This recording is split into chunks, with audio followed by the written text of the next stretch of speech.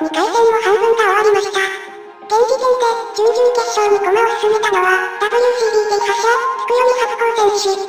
そして、私を倒し、月下選手を下した、今年度予選最速記録保持者白選手。そして、前年度に続き、4年連続準々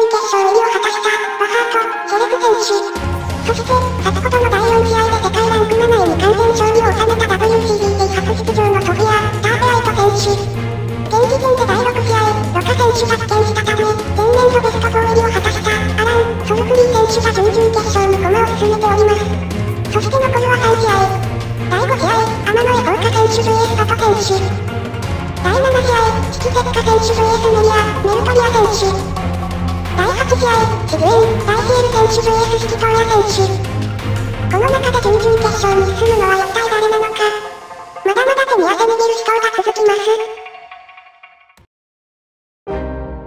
すごい集中力、それにオーラの乱れが一切ない。ずっと特訓を見てきたけど、すごくいいコンディションかも。寝るはまだか、見える。うん、まだ中で説明してると思う。3人とも目を覚ましてるから。そうか、なら全員この試合を見ることになるんだな。レイム、マリサ、ヨウム、アリス。みんなも見ててくれよ。俺はこれから世界のトップたちを相手に戦うんだ。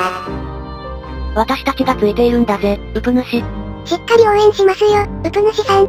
気合い入れなさいよ、ウプ主。全力を尽くしなさい。ウプ主。まだ数十分ある。今のうちにオーラの精度を高めておくんだ。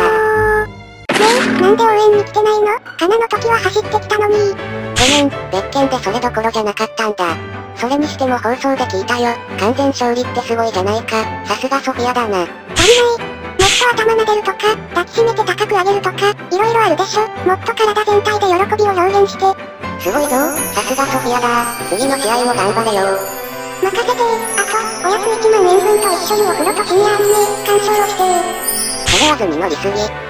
仕方ないな。ならそれは次の試合に勝った時のご褒美にしてもらうよ。諦めないんだな。それじゃあ私は一人で見るのもあれだから、ここでカナとハクと一緒に見てるね。ああ、あと、中に入ったら寝るにそろそろ向かいたいから出てきてくれって言っておいて。ラージャン、みんな元気あ、ソフィアちゃん、すごいね。無傷で隊長相手に勝ったんだね。私、デスペナルティで一週間オーラが戻らないんだって。質の低い恩恵だよ。かなちゃんならこんなことにはならないのに。本当、結構私にしては本気で戦術練って挑んだのに。それがこれって、ソフィアちゃんはすごいよね。同じようにサボっていたのに全然違うや。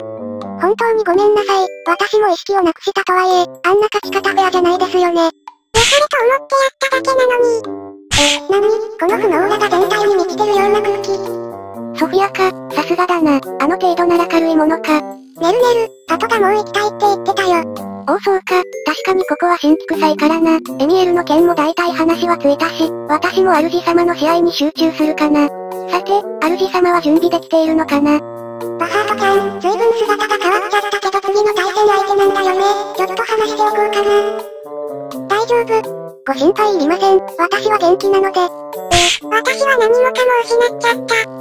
ぎんだよ。辛いよ。えっと、君は、ミカドルエデン、ペイアポストール、序列声、信玄の天使王、エミエルだよ。もしかして最後のって君。うん、だって力を見せたかったから。なるほどね。パト、シーラ版勝支配使いこなせてなさすぎるね。能力が強すぎて溢れちゃってるじゃん。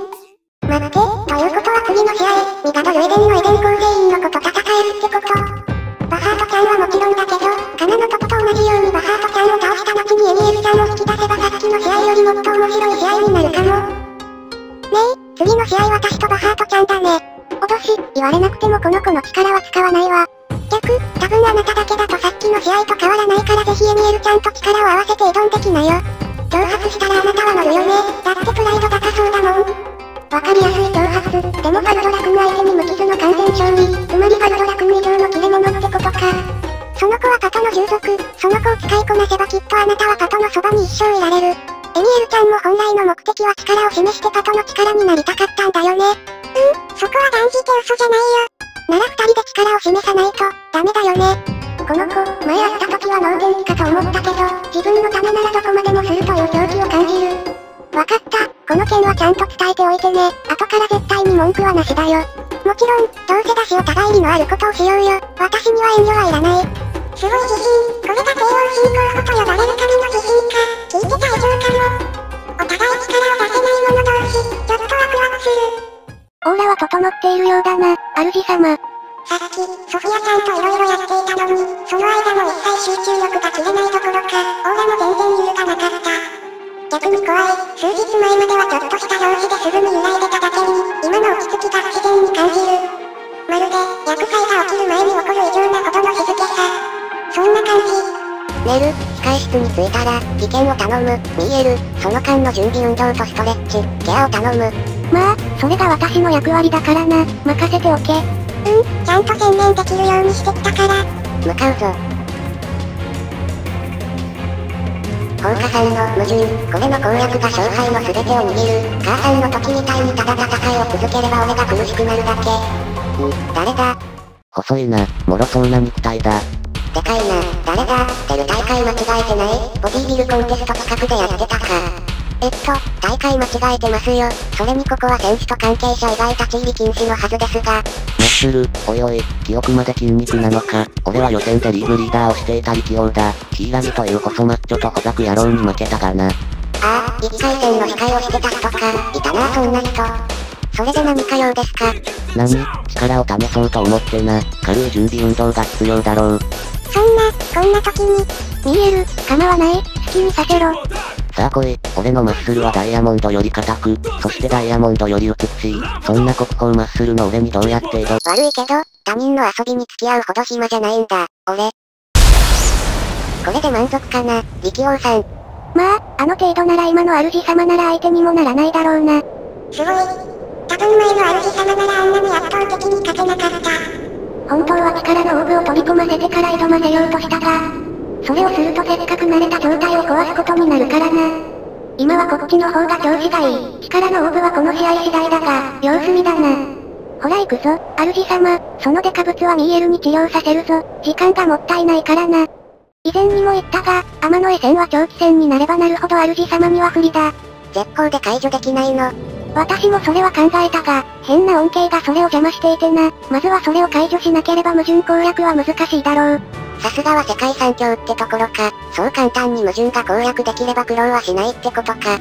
まあ、理想は矛盾の上限にかかる前に倒す。これが理想だな。主様は短期戦で序盤から全力戦、天の絵はそれらをしのいで長期戦に持ち込む。お互いの狙いは対局、故にどちらかの土俵を崩せば戦況が一気に傾くってわけか。まだ時間大丈夫。ごめんね、急いで問題がないか確認するから動かないでね。まったく、専念できるようにしてきた。って言っておきながら筋肉ゴリラに時間を割かれた残念選手ね。何が遠回しに治療しろって言ったんでしょえー、選手の方は準備できてますか私はできてますよ。絶対に噛みません。ふざけません。決して上司に屈したわけでも、ふざけた後が怖いとかでもありません。断じてありません。さて、残り数分か、覚悟決めないとな。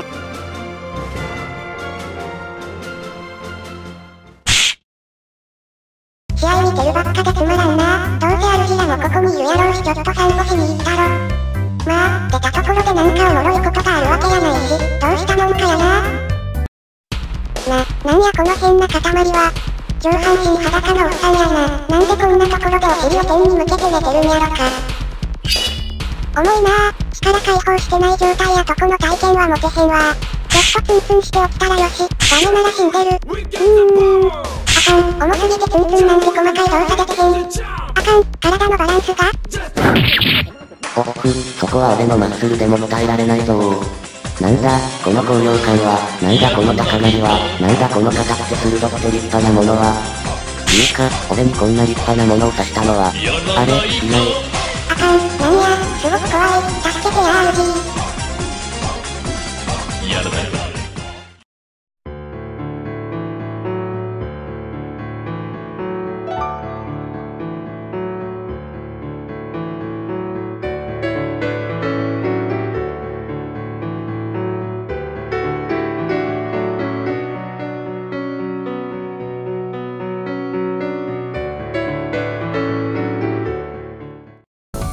聴ありがとうございました。動画は楽しんでくれましたか？くれましたか？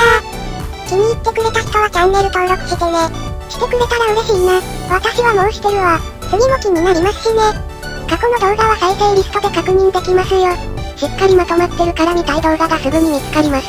それはぜひ見ないとね。見てね。次の動画までお別れですね。また次の動画で会いましょう。約束ですよ。それじゃあ次回もお楽しみに